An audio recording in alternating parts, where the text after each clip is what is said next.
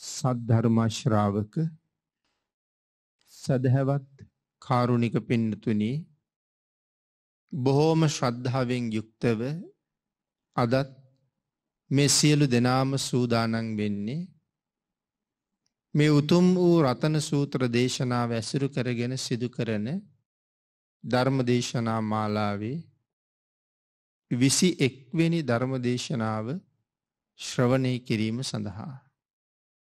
ඒ වගේම මේ විසි එක්වැනි ධර්ම දේශනාව ලක්වැසි ලෝවැසි සියලු දෙනා වෙනුවෙන්ම ප්‍රචාරය කරවන්ඩ දායකත්වය ලබා දෙන්නෙත් මේ දායක පිරිසයි. මේ උතුම් වූ ධර්ම දානමය පුුණ්‍ය කර්මය සිද්ධ කරගෙන එයින් රැස් කරගන්න උදාර්තර කුසල කර්මයන්ගේ අනන්ත ආනුභාවයත් ධර්මශ්‍රවනය කිරීමෙන් වගේම තම තමන්ගේ ජීවිත කාලය තුළ රැස්කරගත්ත අන්‍ය වූ සියලු කුසල ධර්මයන්ගේ ආනිසංසත් හේතුවීම තුළින් ඉතාම ඉක්මං භවයක ඉතාමත්ම කෙටි කාලයකින් සැප සහිත ප්‍රතිපදාවකින් අමාමහ නිවනින් සැනසීම සඳහා මේ සියලු කුසල් ඔබ සියලු දෙනාටම හේතු වාසනාවේවා කියල ප්‍රාර්ථනා කරමු. පින්නතින උතුම් වූ රතන සූත්‍ර දේශනාවේ විසි එක්වෙනි දේශනාව ආරම්භ කරන්න බලාපොරොත්තු වෙන්නේ රතන සූත්‍ර දේශනාවේ තුන්වෙනි ගාථා රතනයෙන්. මේ උතුම් වූ රතන සූත්‍රයේ තුන්වෙනි ගාථා රතනය තමයි යංකිංචි විත්තං ඉදවාහුරංවා සග්ගේසුවායන් රතනං පනීතං නෝ සමං අත්ති තථාගතේන ඉදම්පි බුද්ධේ රතනං පනීතං ඒ තේන සච්චේන සුවත්ති හෝතු. පිනතුන අපේ බුදුරජාණන් වහන්සේ මේ විදිහට විශේෂයෙන් දෙවියන්ට මනුස්ස වර්ගයාට තියෙන උපකාර දෙවියන්ගෙන් මනුස්ස වර්ගයාට තියෙන උපකාරය. ඒ වගේම මනුස්ස වර්ගයාගෙන් දෙවියන්ට තියෙන උපකාර විශේෂයෙන් පෙන්නලා. ඒ මිනිස්සුන්ගේ සියලු කරදර දුරුකිරීම සඳහා භාග්‍යතුන් වහන්සේගේ ධර්මරත්නය සහ සංගරත්නයේ ගුණත් දේශනා කිරීමෙන් දෙවියන්ට සහ මිනිසුන්ට ධර්මශ්‍රවණය කිරීම සඳහා යංකිංචි විත්තං කියන මෙ තුන්වෙනි දේශනාව සිද්ධ කරලා තියෙනවා. මොද අපි විසිවෙනි දේශනාව දහ නමවෙනි දේශනාව කියන දේශනා දෙකේදිම සාකච්ඡා කරන්න යෙදුනා අපේ බුදුරජාණන් වහන්සේ දෙවියන්ට සඳහන් කළා මේ මනුස්ස වර්ගයාට අනුකම්පා කරන්න කියලා. මොකද මිනිස්සු දෙවියන්ට නොඒක් ආකාරයෙන් පූජා පවත්වනවා. සඳහන් කලා දෙවියන්ගේ රූප ඇඳගෙන වඳිනවා. ගස් ගල්වලින් දෙවියන්ගේ රූප නෙලාගෙන වඳිනවා. පළතුරුවාදී නොයෙක් දේවල් දෙවියන්ට පූජ කරනවා. පානීය දේවල් දෙවියන්ට පූජ කරනවා. මේ නොයෙක් දේවල් කරලා සමහරයි බලිබිලි පූජා පවා කරලා දෙවියන්ට සත්කාර කරනවා. කෙසේ වෙතත් මේ නොදිවුණු මිනිස්සු හිත දියුණු නැති මිනිස්සු තමයි එහෙම පූජාවල් කරන්නේ. නමුත් දෙවියන්ට කරන උසස්ම පූජාව මොකක්ද? දෙවියන්ට කරන උසස්ම පූජාව තමයි සිල්වත් ගුණවත් උතුමන්ට දන් දීලා දෙවියන්ට පින් දෙන එක. එක තමයි උසස්ම සැලකිල්ල.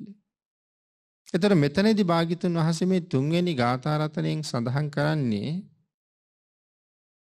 මේ දෙවියන්ට මනුස්ස වර්ගයාගෙන් තියෙන උපකාරවල ස්වභාවය පෙන්නලා.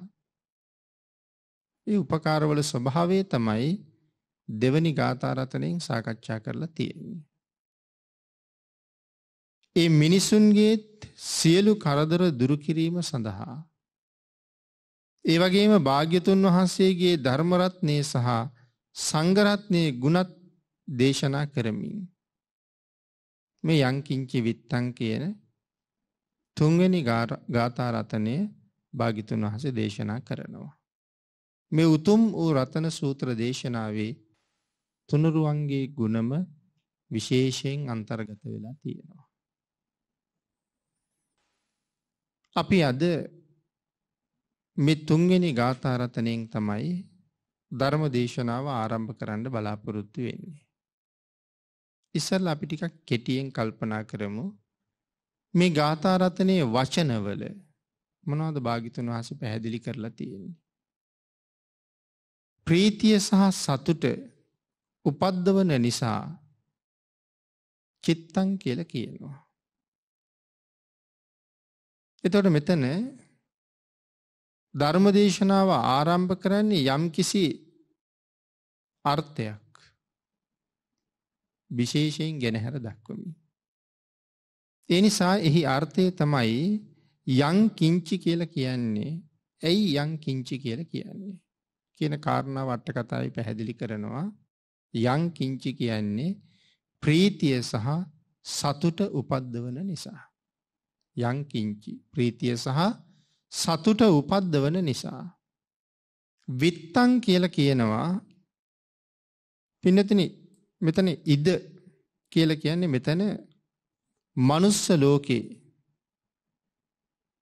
හෝ එම නැත්තන් කියනවා අර්ථයකට එනකොට මනුස්ස ලෝකය වා කියන්නේ හෝ කියන අර්ථයකට එනකොට මේ වචනවල පදින් පදේ තේරුම ගැලපෙන හැටි. ප්‍රීතිය සහ සතුට උපද්දවන නිසා බිත්තං කියල කියනවා ඉද කියල කියන්නේ මනුස්ස ලෝකෙට වා කියල කියනවා හෝ කියන අර්ථය තමයි මනුස්ස ලෝකෙට හෝ කියන අර්ථය තමයි ඉදවා කියල කියන්නේ. හුරංවාති කියන්නේ මේ මනුස්ස ලෝකෙ හැර ඉතුරු අනිකුත් ලෝක මනුස්ස ලෝකෙ හැර අනික් සියලුම ලෝක කියන අර්ථය. ඊළඟට සඳහන් කරනවා සග්ගේසුවා සග්ගේසුවා කියන්නේ මේ මනුස්ස ලෝකයයි දිවිය ලෝක හයයි කියන මේ ප්‍රමාණයට. ඊට අමතරව මනුස්ස ලෝකෙට හා නාගයින් සහ ගුරුලන් ඉන්න විමාන මනුස්ස ලෝකෙට අමතරව නාගයෝ ඉන්න ගුරුලංගිති විමාන මේ දෙවලුත් තියෙනවා. සඳහන් කරනවා මේ නාගයින් මුහුදේ ගංගාවල් වල පර්වතාශ්‍රය කරගෙන ජීවත්වෙනවා. නාගයෝ කියන ජාතිය. ගුරුල සාමාන්‍යයෙන් සඳහන් කරනවා පවුරු වලලු හතකට එහා ජීවත්වෙනවා කියලා. මෙ සාමාන්‍යෙන් අපේ සාමාන්‍ය පෘතජ්ජනයන්ට ගෝචර නොවෙන ප්‍රදේශය. පවුරු වලලු හතකට එහා. සාගරයේ තරණය කරන අය කොච්චර ඉන්නවද. නැව්වාදී යාත්‍රාවල නැගල සාගරයේ කොච්චර ගමන් කරන ඉන්නවද. නමුත් කාටවත් මේ පවුරු වලලු හතකින් එහා ගුරුලු ජීවත් වෙන ප්‍රදේශ තාම හම්බ වෙලා නෑ. ඉළඟට සඳහන් කරනවා මනුස්සයන්ට යන්ඩ බැරි තරම් ඈත ප්‍රදේශවල ජීවත්වෙනවා කියල සඳහන් කරනවා මේ ගුරුලු මිනිස්සුන්ට යන්ඩ බෑ. එකන්නේ අපි දකින්නේ නෑ කියන එකයි. එතරම් ඈත ප්‍රදේශවල ජීවත්වෙන්නේ. විශාල ගුරුලු පිළිබඳව සඳහන් කරනවා. දැන් ඔය ආලවක සූත්‍රාට්ට කතාව එහෙම පැහැදිලි කරනවා. යොදුන් එකසිය පණහක් විතර දිග ගුරුලෝ ගැන. ටිකින් යොදුනක් කියල කියන්නේ දළවසයෙන් හැතැක්ම දහයක් විතර. එතට යොදුන් එකසිය පණහක් කියල කියහම හැතැක්ම එක්දස් පන්සීයක් විතර. අපිට තේරෙන්නේ නේ නමුත් සඳහන් කරලා තියෙනවා. මොක දර භාගිතුන් වහන්සේට කරුණු සඳහන් කරනකොට සාතාගිර හේමවත යක්ෂ සේනාධිපතිය දෙන්න. ආලෝක යක්ෂය අහනවනේ බලගේ බුදුරජාණන් වහන්සේ මංගලඟ කවුද කියලා. එතකොට තමයි කියන්නේ යොදුන් එකසිය පණහක් විතර දිග ගුරුළු රාජයෙක් නම් අපේ භාගිතුන් වහන්සේ. ඒ භාගිතුන් වහසළඟ ඔබ කපුටෙක් විතරයි කියලා. අපේ බුදුරජාණන් වහන්සේ කේසර සිංහරාජයෙක් නං ඒ සිංහයා ළඟ උඹ හිවලෙක් විතරයි කියලා. ඉතින් ඒ ප්‍රකාශයෙන් තමයි යාලෝකයක්ෂයට දැඩිසේ කේන්තියන්නේ. ඉතින් එතකොට මෙතන සඳහන් කරලා තියෙනවා යදුන් 150ක් විතර දිග ගුරුල්ලෝ ගැන. ඒතර මිනිස්යන්ට ගෝචර නොවන පවුරු වලලු හතකින් එහා ගුරුලෝ ජීවත් වෙනවා කියන කාරණාව මෙතන පැහැදිලි කරලා තියෙනවා. ඊළඟට මේ නාගයින් සහ ගුරුලන් ඉන්න විමාන ගැන මෙතන විශේෂයෙන් විස්තර කරලා තියෙනවා. මනුස්ස ලෝකේ පරිහරණය කරන උසස්ම ධනයන් ගැන මෙතන සඳහන් කරනවා. යං කිංචි විත්තං කියල කියහම පින්නතුනී ඇයි යං කිංචි විත්තං කියල සඳහන් කරන්නේ. සඳහන් කරනවා යම් කිසි ධනයක් යම් කිසි ධනයක් කියල කියහම මොනවද කියල විස්තර කරනවා ඒ ධනය රත්තරං රිදී මුතු මැනික් පබලු රතුමැනික් සහ වෛරෝඩි කියන මිනිසුන් පරිහරණය කරන මේ උසස්ම ධනය ගැන තමයි මේ යං කිංචි විත්තං කියලා මෙතන සඳහන් කරන්නේ. ඒ උසස්ම ධනය ගැන පැහැදිලි කරලා කියනවා මේ පින් වැඩි නාගයෝ බොහෝම උසස් කුසල් තියෙන නාගයෝ ඉන්නවා. අනික දීර්ඝ ආයුෂ නාගයන්ට තියෙන්නේ. මේ පින් වැඩි නාගයෝ මුතු මැණික් සහිත වැලි අතුරපු බිම සහිත සප්ත රතනවල තමයි ජීවත් වෙන්නේ.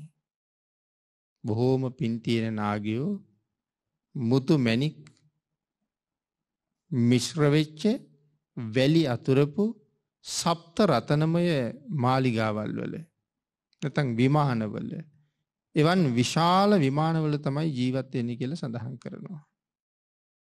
බිම අතුරලා තියෙන්නේ මුතු මැණික් ආදී දේවල්. සඳහන් කරනවා නාගයොත් අතිශයින්ම විශාලයි කියලා.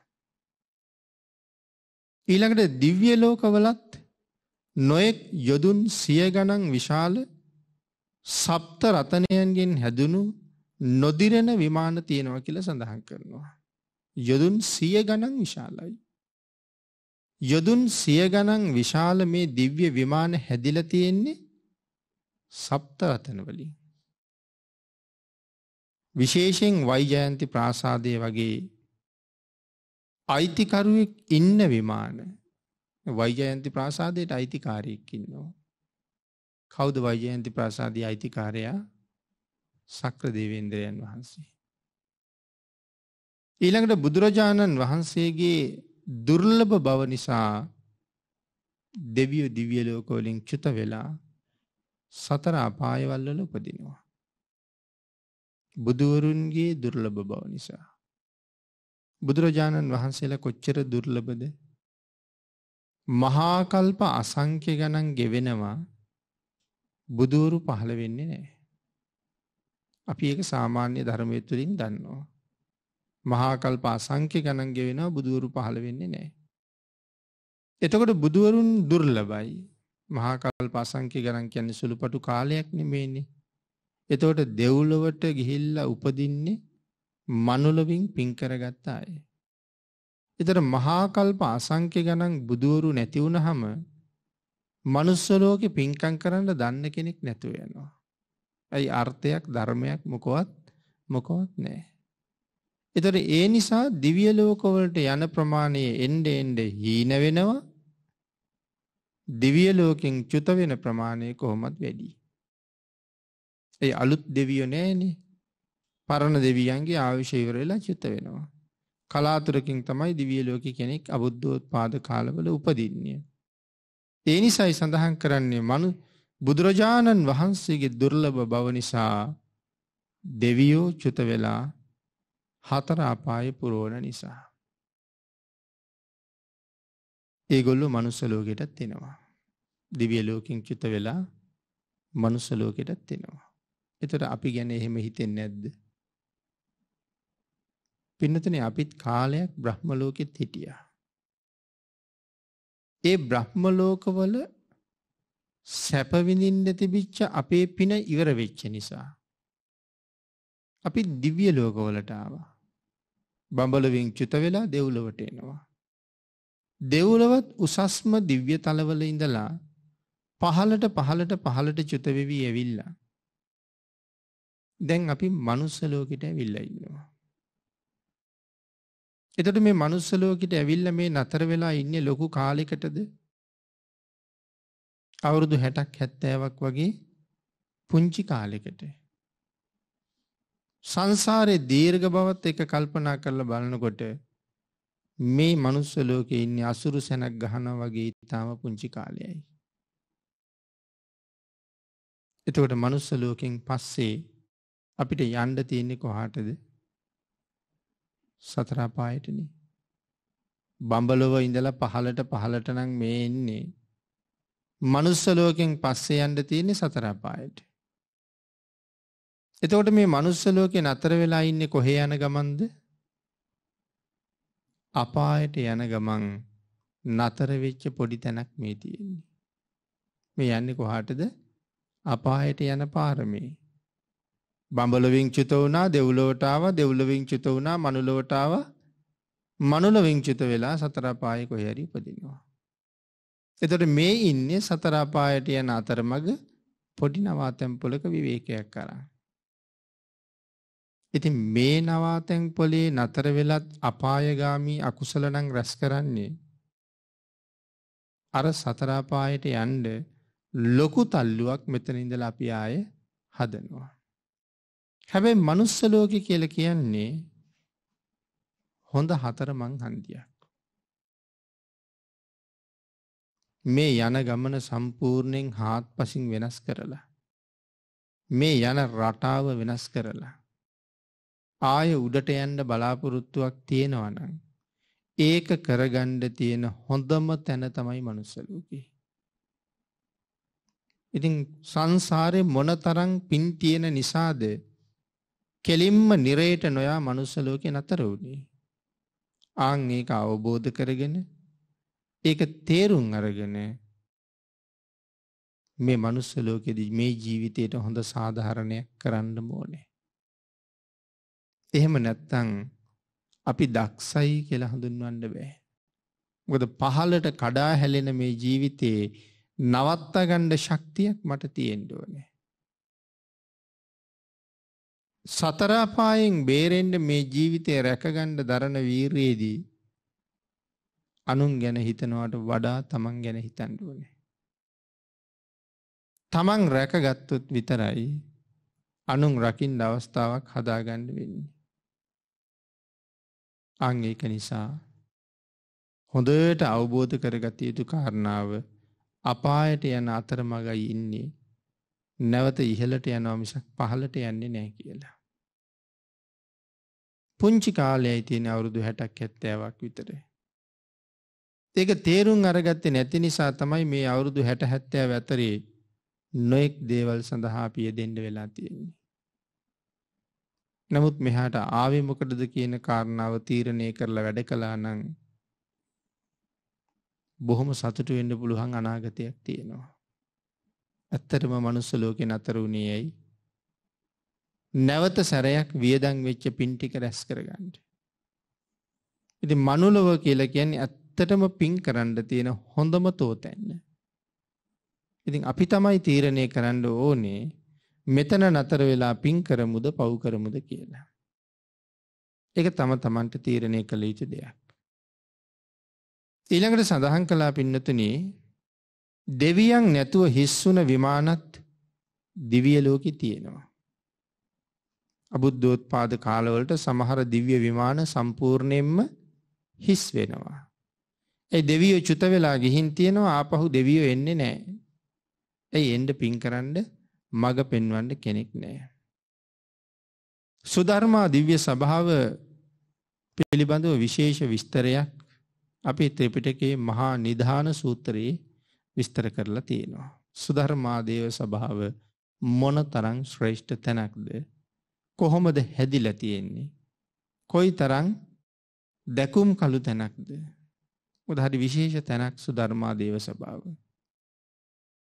පසලොස්සක පෝය දවසට දෙවියන්ගේ රැස්වීම තියෙන්නේ මේ සුධර්මා සභාවී. ඉතින් කෝටි ගණන් දෙවිවූ රැස්වෙලා නොයෙක් දහම් කරුණු ඇතුළු දෙවියන්ගේ සුභ සිද්ධිය උදෙසා කරුණු සාකච්ඡා කරලා. මනුස්ස ලෝකෙ මිනිස්සු පිළිබඳවත් ඒ සුධර්මා සභාවි කතා කරනවා. මොකද මාසකට හතර වතාවක් විතර සතරවරං දෙවියන්ගේ දරුවෝ මනුස්සලෝකට එනවා කියල සඳහන් කරනවන්නේ. එල්ල බලනවා මොනවද මේ මිනිස්සු කරන්නේ. මොනවාගේ හැසරීම්ද මිනිස්සුන්ගේ තියෙන්නේ. පින් කරන අය කවුද පව් කරන අය කවුද. උදව් කළ යුත්තේ කාටද නොකළ යුත්තේ කාටද. මේ ඔක්කොම කාරණා බලාගෙන ගිල්ල සුදර් මාස භාවය තමයි සාකච්ඡා කරන්න. සාකච්ඡාව නිමා වෙනකොට සුධර්මා සභාවට අති ආශ්චර්යමත් ආලෝකයක් පහළ වෙනවා. යාලෝකයේ පහළ වෙනකොට සුධර්මා සභාව ඉන්න සියලුම දෙවිවරු තමන්ගේ ආසනවලින් නැගිටිනවා. මොකදද මේ ආලෝකයේ පහළ වෙනවා කියල කියන්නේ ඉතා ප්‍රතාපවත් බ්‍රහ්මරාජයෙක් සුධර්මා සභාවට ළඟා වෙනවා කියන එකයි.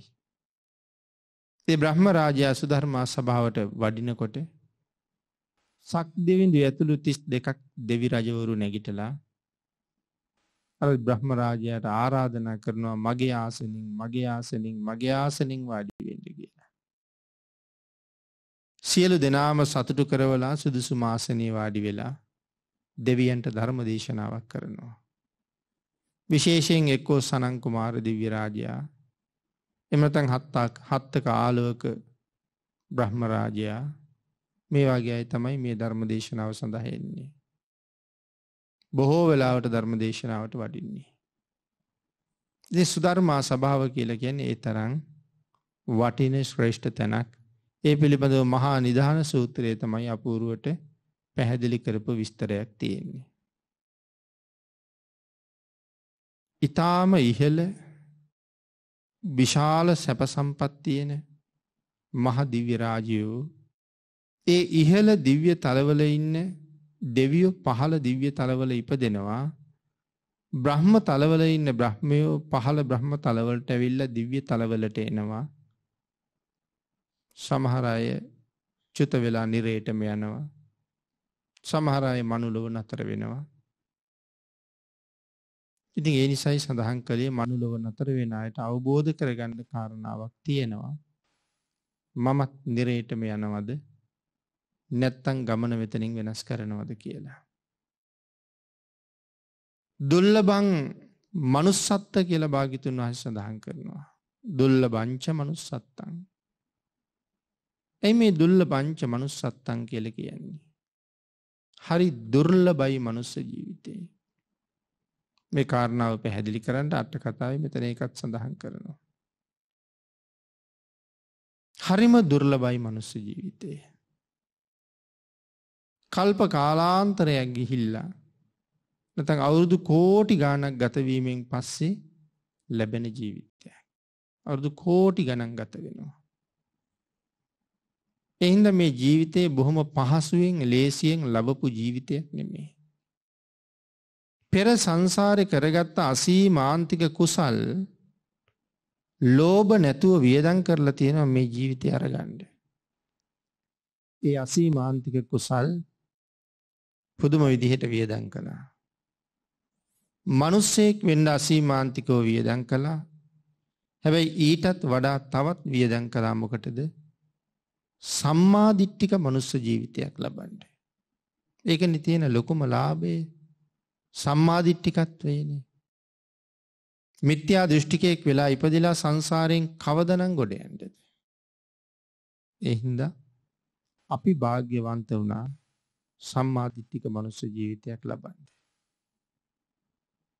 පිනතරින් තවත් කාරණාවක් පැහැදිලි කළ යුතුයි. මනුස්සෙක් වෙන්ඩ පින් වියදන් කලා සම්මාධිට්ටිකයෙක් වෙන්ඩ ඊට වඩා පින් වියදන් කලා තවත් නං වියදන් කරපු කාරණාවක් තියෙනවා. ලංකාවවාගේ රටක ඉපදෙන්ඩ වෙන රටක ඉපදෙන්ඩ වියදන් කරන පිනට වඩා වැඩියෙන් පින් වියදන් කරන්න ඕනේ. ඉතින් එතකොට මේ කාලේ මිනිස්යන්ට හිතෙන හැටිත් එක්ක බලහම මේ ප්‍රකාශයේ එච්චර ගැළපෙන කතාවක් නෙමෙයි. මොකද මේ කාලේ මිනිස්සුන්ගේ කල්පනාව ලංකාව ජීවත් වෙන්න එච්චර හොඳ නැති රටක් කියලා. නමුත් මේ ලෝකේ සංසාරයෙන් එතර වෙන්න ජීවත් වෙන්න තියෙන රටවල් අතර ලංකාව කියලා කියන්නේ අති සුවිශේෂී රටක්. මේ ලෝකෙ ජීවත් වෙන්න එච්චර හොඳ නැති රටක් නෙමෙයි ලංකාව. ලංකාව කියන්නේ කෝටි ලක්ෂයක් සක්වලකින් ජීවත් වෙන්න තියෙන හොඳම රට කියන එකයි මගේ නම් අදහස. ඒකට හේතු කාරණා ගොඩක් තියෙනවා. අපේ බුදුරජාණන් වහන්සේගේ අනුග්‍රහය අපට තරම් තව කාටද ලැබුණේ කියලා අපිට හිතා ගන්න බෑ. ලංකා වාසීන්ට ඒ තරම්ම භාග්‍යතුන් වහන්සේ අනුග්‍රහ කළා. තවත් විදිහකට කෙටියෙන් සඳහන් කළොත් අපි වෙනුවෙන් කළ යුතු සියල්ලම බුදුරජාණන් වහන්සේ මැනවින්ම කළා. හැබැයි භාග්‍යතුන් වහන්සේ අපට දක්වපු අනුකම්පාවට අපෙන් සාධාරණයක් යුක්තිකරුක බවක් සම්පූර්ණ වෙනවද කියන කාරණාව නම් ආයේ හිතන්න ඕනේ. භාග්‍යතුන් වහන්සේ අපි කෙරෙහි තියපු විශ්වාසය ආරක්ෂා කරන්න තරම් ශක්ති සම්පත් මිනිස්සු නෙමේ අපි. ඒ නිසත් අපි මේ රටේ උපදින්න කරපු කුසල කර්මය තිබුණත් අපි මේ රටේ වටිනකම තේරුම් අරන්නේ. මේ රටේ උපන්න කෙනෙකුට කරගත හැකි දේවල් මොනවද කියන එක මනාව තේරුම් අරගෙන නෑ. සරුවඥ ධාතුන් වහන්සේලා වැඩි ප්‍රමාණයක් වැඩඉන්න රටක් ලංකාව. අනික විශේෂම කාරණාව ලෝතුරා බුදුරජාණන් වහන්සේ ජීවමානව වැඩඉන්න කාලේ තුන් වතාවක් යමක මහා ප්‍රාතිහාරය දැක්වවා. පින්නතන පුදුම නැද්ද ඒ භාගිතුන් වහසේ පිරිනිවන් පෑවට පස්සේ භාගිතුන් වහසේ ශේෂ කරපු ධාතුන් වහන්සේ විසින් ලංකා භූමියේ දෙපාරක් ප්‍රාතිහාරය දැක්වා කියහම. භාගිතුන් වහසේ තාමත් ජීවමානයි කියන කාරණාව මනාව පැහැදිලි කළා. ක්ලේෂ පරිනිර්වාණය ස්කන්ධ පරිනිර්වාණය ධාතු පරිනිර්වාණය කියලා ලෞතුරා බුදුවරුන්ට පරිනිර්වාණ තුනක් තියෙනවා. ගයාවේ බෝධිමූලයේදී ක්ලේෂ පරිනිර්වාණය සිද්ධ වුණා. මල්ල රජදරුවන්ගේ උපවත්තන සාලවනෝද්‍යානයේදී ස්කන්ධ පරිනිර්වාණය සිද්ධ වුණා.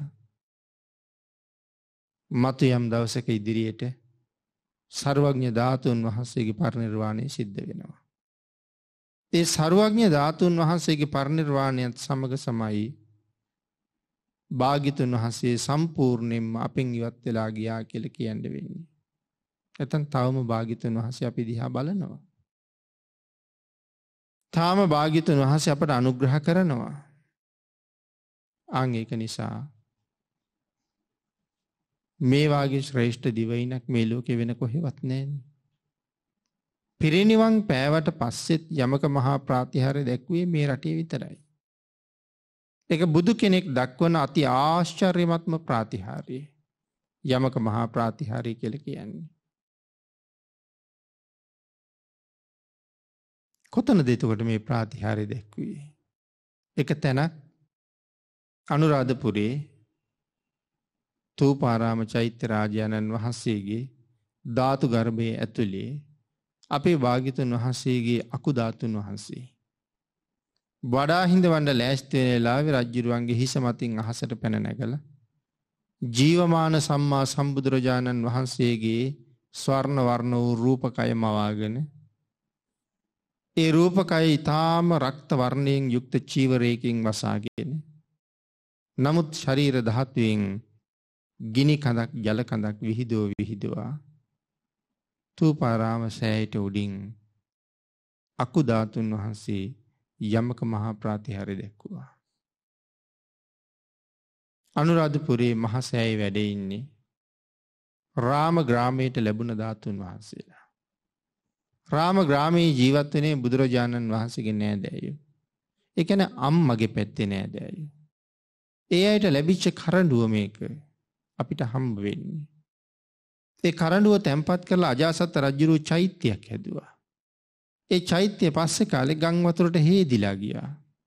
නමුත් ධාතු කරඩුවත් ඒත් එක්කම හේදිලා ගියා. මහසාගරී මැද රිදීවන් වැලි තලාවක් මත මේ දහතු කරඩුව බුද්ධ රශ්මිය විහිදුව විහිදවා තැම්පත්වයා තියෙනවා දැක්කහම නාගලෝකෙන් ඇවිල්ල රංග. දෙවියෝ අන්දනාමාන කළා. භාගිතුන් වහසර ජීවමාන සෙයියාවක් වගේ භාගිතුන් වහන්සේ රැප උපස්ථාන කළා. එතකොට නාග ලෝකෙන් අරගෙන ගියපු දහතු කරඩුව අනුරාධපුර මහමෙවුණා වයනේ මහසෑය ඉදිවෙලා අවසංවෙන්ට කිට්ටු වෙනකොට ධාතු ගර්භයේ වැඩනිමා වෙනකොට ධාතු ගර්භය ඇතුළේ තැන්පත් කරන්න වැඩම කරවගෙනාවා. නාගියෝ දෙන්න කැමති වුණේ නැහැ. ඒක ඉතින් දීර්ඝව සාකච්ඡා කළ යුතු විශේෂ කාරණාවක්. කෙසේ වෙතත් ධාතුන් වහන්සේ වැඩමවාගෙන ආවා. ඒ රාම ග්‍රාමයට ලැබිච්ච ධාතුන් වහන්සේලා. ධාතු ගර්භයට වැඩමවනකොට මොකද විශාල ධාතු ගර්භයක් තියෙන්නේ.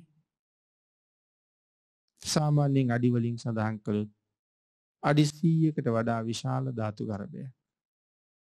මොනවගින්ද හදල තියෙන්නේ හිමාලයෙන් අරගෙනාපු මේග වර්ණ පාශානවලින් එක රහතන් වහන්සල තමයි හිමාලයෙන් අරගෙන එන්න මේග වර්ණ කියන ගල් පතුරු. පතුරු කීවට කුඩා පතුරු නෙමෙයි. එක පැත්තක බිත්තියකටම තියල තියෙන පතුරු. අනි පැත්තෙත් එහෙමයි. ඒව තනිකර පතුරු කියනවට වඩා ගැලපෙන්නේ ගල් ලෑලි. රහතන් වහසර තමයි ගේන්නේ. එනම් පතුලට ගල් ඇල්ලක් තියෙනවා. දෙපසට ගල් ඇලි දෙකක් තියෙනවා. අනික් පැත්තටත් ගල් ඇලි දෙකක් තියෙනවා. වහන්ඩ ගලකින් පියනක් තියෙනවා. ඉති රජ්ජරෝ ධාතු කරඩුව අරගෙන ධාතු ගර්භයට වඩින්ට ලෑස්ති වෙනකොට නැවතත් කරඩුව රජ්ජිරුවන්ගේ අතින් ගිලිහිලා හිසමතින් අහසට පැනනැගල ජීවමාන බුද්ධ ශරීරයේ මවාගෙන ප්‍රාතිහාර දක්වන්න යෙදනා. ඉන් පස්සෙ තමයි මහසෑය ඇතුළි මේ දහතු කරඩුව තැන්පත් කරන්නේ. දට මේ ලෝකෙ වෙන කොහෙද භාගිතුන් වහස පිරිනිවන් පැවට පස්සේ යමක මහා ප්‍රාතිහාරය දක්වපු රටක් තියෙන්නේ. මෙච්චර ධාතුන් වහසල එක් රැස් වුන රටක් තියෙන්නේ. මේ ලංකාව හැර වෙනත් එහෙම රටක් ගෙනනං අහන්ඩ නෑ. ඒකයි මම සඳහන් සඳහන් කළේ ඒ තරම්ම භාග්‍යවන්ත රටක්. නිවනට යන්ඩ නං වැඩ කරන්න පුළුවන් හොඳම රට ලංකාව කියල කියන්නේ. නිවන් දකින්න බලාපොරොත්තු වෙන කෙනෙකුට වටිනාම රට. එන්ද අත්හැර යායුතු රටක් නෙමේ සොයාගෙන ආවයුතු රටක්. නමුත් ආර්යන් වහන්සලා අපට අනුකම්පා කරනවා හුඟක් අඩු වෙලා මොකද මිනිස්සු දැම් පව් කරනවා වැඩි නිසා. එන්ද ආර්යන් වහන්සලගේ ඇල්ම බැල්ම බෝසයින් අපෙන් ඉවත් වෙලා ගිහිල්ල තියෙන නිසායි අපිට එහෙමවෙන්. එතර මෙතන සඳහන් කළා මේ ලෝකයේ සමහර අය කියනවා මනුස්ස භවය දුර්ලභනං කොහොමද මෙච්චර ජනගහනය වැඩි වෙන්නේ කියලා. තැන් දුල්ල බංච මනුස්සත්තන් කියලන කියන්නේ. මනුස්සාත්ම භාවය මෙච්චර දුර්ලබනං කොහොමද ලෝකෙ එන්ඩ එන්ඩ ජනගහනය වැඩි වෙන්නේ කියලයි මේ අහන්නේ. මේ කාලේ ඇත්තටම ජනගහනය වැඩිද මේ කාලේ ලෝකෙ ජනගහනය වැඩි නෑ. ජනගහනය ඇත්තටම වැඩි වුණා නං අපිට මෙහෙම ඉන්ඩ වෙන්න හෙකුත් නෑ. මොකද දැනුත් ඉන්න මිනිස්සුන්ගේ අපේ පින හුඟක් අඩුයි පින්නතුනි. අපේ පින අඩු නිසා දැන් අපිට හොඳට තේරෙනවනේ මේ රටේ ඉන්න මේ කෝටි දෙකක් දෙක හමාරකටවත් සෑහෙන්ඩ කෑමබීම මේ රටේ නැතිවෙන්ඩ නෙන්නේ. එතෝට මිනිස්සුන්ගේ පින් අඩුවෙන කාලෙට මේ ඉන්න මිනිස්සුන්ටවත් කෑමබීම නැතිවෙන්ඩ යෙන්නේ. ඒ කෑමබීම ප්‍රශ්නය මේ රටට විතරක් බලපාන එකක් නෙමේක ලෝකෙටම බලපාන ප්‍රශ්නය.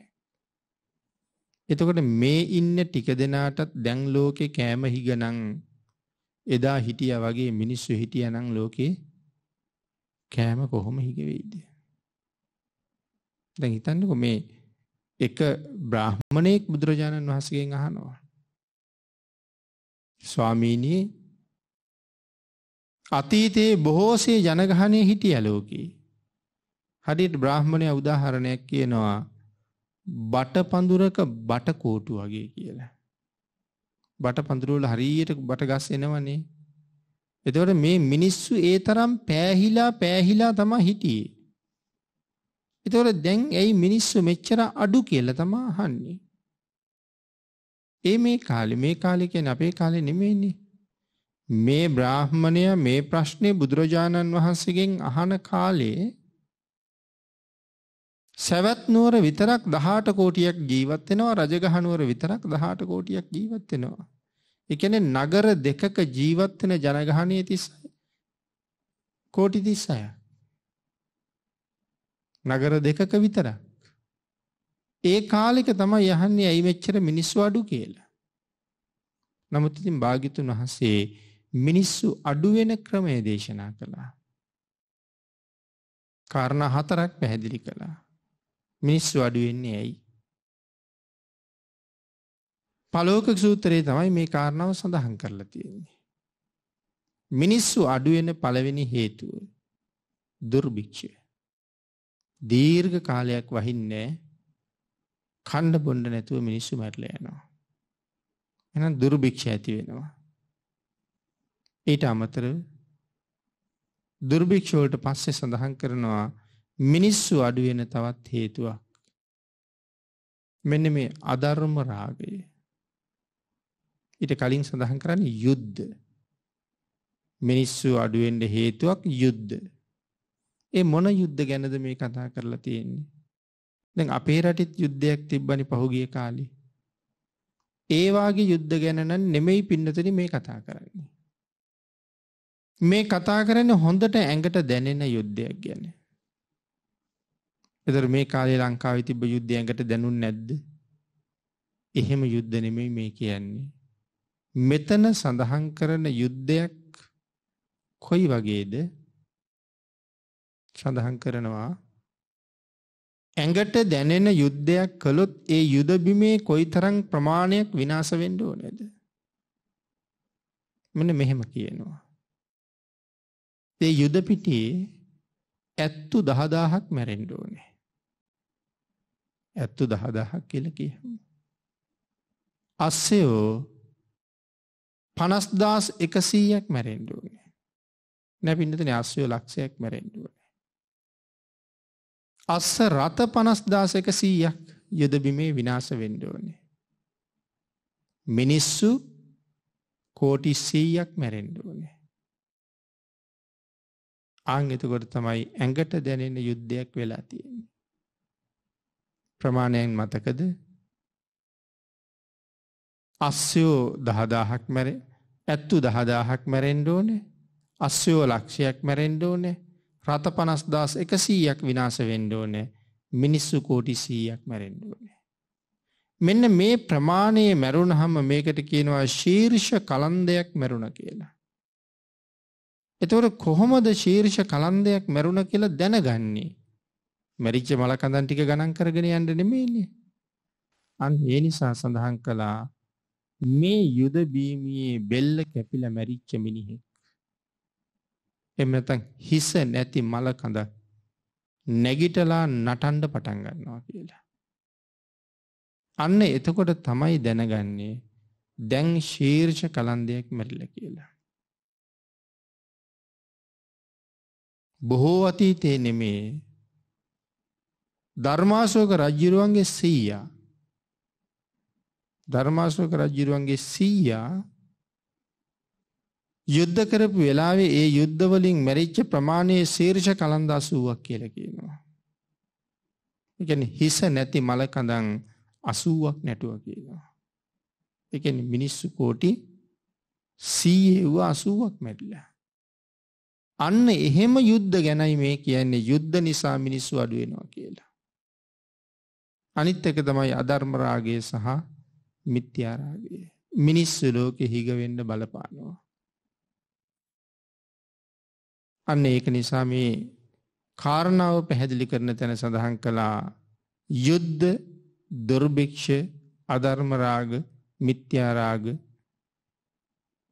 මෙන්න මේ කාරණා නිසා ලෝකෙ මිනිස්සු අඩුවෙනවා. චන්ද්‍රගුප්ත රජ්ජුරුව බද්ධසාල කියන ඇමතිත් එක යුද්ධ කරලා තමයි හිස නැති මලකඳන් අසුවක් නටල තියෙන. ඇමතිවරුවත් සාමාන්‍ය ඇමතියෙක් වෙන්න බෑතකොට.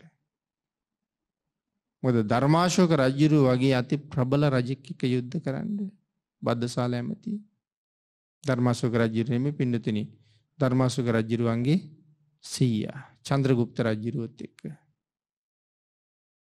මිනිස්සු ලෝක අඩුවෙන හැටි.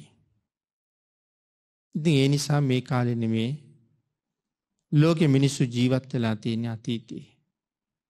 අපි කල්පනා කරන්න අද ජනගහනය ලෝකෙ වැඩි කියලා. අපිට එහෙම කල්පනා කරන්න වෙලා තියෙන්නේ මේ ඉන්න ජනගහනයට සෑහෙන්ඩ ලෝකෙ තියෙන ආහාර හිගවෙමින් පවතිනවා.